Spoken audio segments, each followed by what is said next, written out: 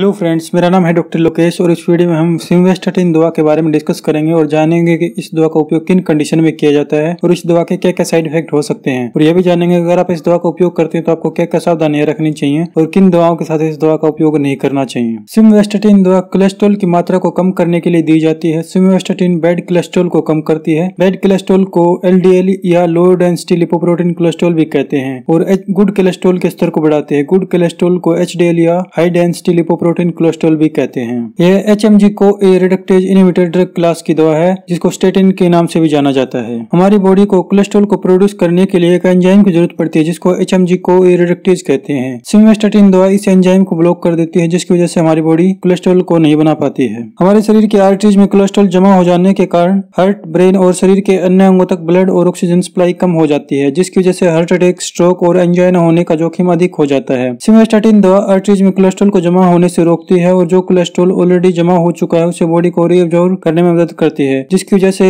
Arteries में blood flow improve होता है और हार्ट अटैक स्ट्रोक और एंजाइना होने का जोखिम कम हो जाता है। अगर आप अपने कोलेस्ट्रोल के स्तर को इफेक्टिवली तरीके से कम करना चाहते हैं तो आपको इस दवा के साथ साथ एक्सरसाइज भी करनी चाहिए और लो फैट और लो कोलेस्ट्रोल डाइट लेनी चाहिए। अगर आपका वज़न ज़्यादा है तो आपको वज़न भी कम करना चाहिए और स्मोकिंग व एल्कोहल के सेवन से बचना चाहिए। सिमवेस्टाटिन दवा five M G ten M G twenty M G forty M G eighty M G की स्ट्रेंथ में अवेलेबल है और यह टेबलेट की फॉर्म में अवेलेबल है। अब हम डिस्कस करेंगे, अगर आप सिमोस्टेटिन दवा का उपयोग करते हैं तो आपको क्या क्या सावधानियाँ रखनी चाहिए? सिमोस्टेटिन दवा लीवर डैमेज कर सकती है और एग्जिस्टिंग लीवर प्रॉब्लम को बढ़ा सकती है। सिमोस्टेटिन के साथ एल्कोहल का सेवन करने से सीरियस लीवर प्रॉब्लम हो सकती है, इसलिए इस दवा के साथ एल्कोहल का सेवन नहीं करना चाहिए। सिमोस्टेटिन की वजह से ब्लड शुगर लेवल ज़्यादा हो सकता है और यह डायबिटीज़ से पीड़ित लोगों के लिए खतरनाक हो सकता है। अगर आप डायबिटीज़ से पीड़ित हैं तो आपको इसके बारे में अपने डॉक्टर को सूचित करना चाहिए। जिन लोगों को कोई किडनी की समस्या है, उन लोगों को सिमोस्टेटिन को बहुत ही सावधानी से लेना चाहिए और डॉक्टर की सलाह के बिना नहीं लेना चाहिए। ज़्यादा उम्र के लोगों में kidney disease liver problem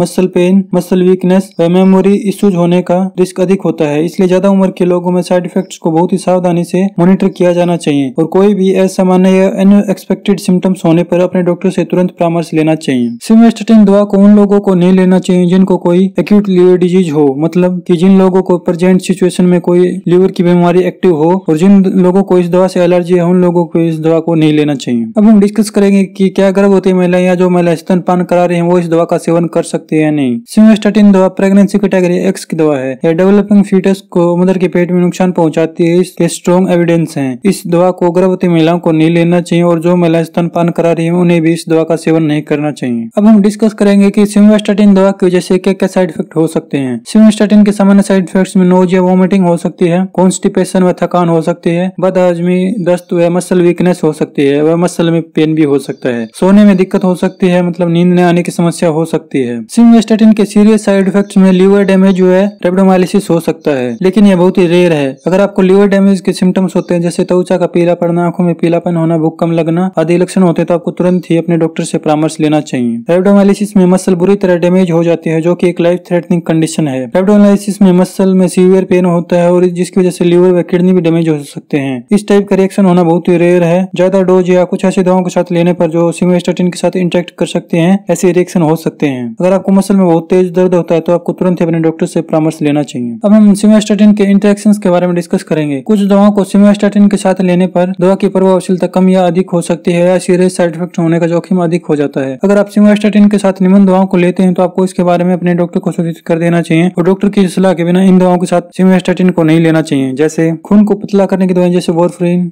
macrolide antibiotic जैसे एरिथ्रोमाइसिन क्लेरिथ्रोमाइसिन एजिथ्रोमाइसिन व एंटीफंगल दवाएँ जैसे इट्राकोनाजोल कैटाकोनाजोल फ्लूकोनाजोल आदि दवाएँ सिमेस्टेटिन के साथ इंटरेक्ट कर सकती हैं। पायरोनोलेक्टन जो कि एक डायरेटिक दवा है इम्यूनोसप्रेसिव दवाएँ जैसे साइक्लोस्पोरिन कोल्चिसिन जो कि कोल्चिसिन गाउट के सिम्टम्स को प्रिवेंट और ट्रीट करने के लिए दी जाती है। अन्य कोलेस्ट्रॉल कम करने की दवाएँ भी सिमेस्टेटिन के साथ इंटरेक्ट कर सकती हैं। अगर आप इनमें से कोई भी दवा लेते हैं तो आपको अपने डॉक्टर को इसके बारे में बताना चाहिए। हार्ट कंडीशन में उपयोग की जाने वाली दवाएँ जैसे डाइजोक्सिन डिल्टाइजम रेपामिल आदि। अन्य दवाओं के साथ भी के इंटेक्शन पॉसिबल हैं। अगर आप कोई भी दवा लेते हैं तो आपको इसके बारे में अपने डॉक्टर को सूचित कर देना चाहिए। वीडियो देखने के लिए आपका धन्यवाद। अगर आपको वीडियो पसंद आए तो प्लीज़ लाइक कर देना और चैनल को सब्सक्राइब कर लेना। अगर आपका कोई क्वेश्चन है तो आप कमेंट करके पूछ सकते हैं।